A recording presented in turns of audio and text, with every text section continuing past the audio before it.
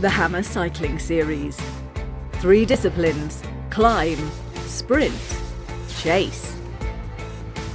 Team versus team. No individual ranking. Each team has seven riders.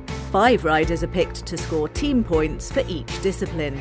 All three disciplines are raced on short circuit loops with points to grab on the first two disciplines. The Climb. A 7 kilometre circuit with challenging gradients. 11 laps, 11 chances to score points.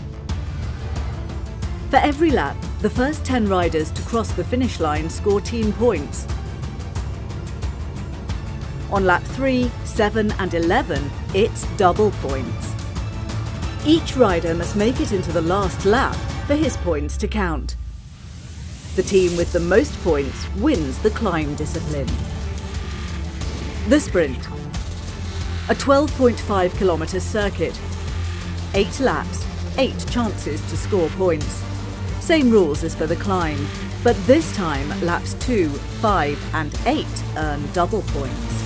The final discipline is the chase. A fox and hound team chase raced over three laps on a 14.5 kilometre circuit. The best ranked team after two days starts in first position. They are chased.